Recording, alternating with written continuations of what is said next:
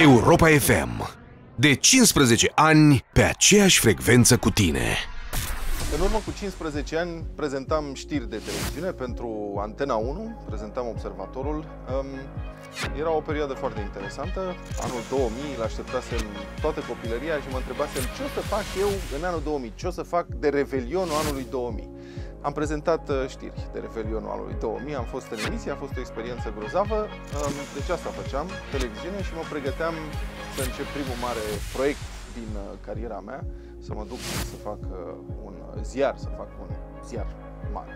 Lucru care s-a întâmplat la sfârșitul anului 2000, din câte mi-aduc aminte, și de asemenea cred că invidiam invidiam așa un pic pe băieții aia mișto de la Radio Europa FM, un radio nou care tocmai apăruse și care um, dăduse lovitura pe piața radiourilor din țara noastră.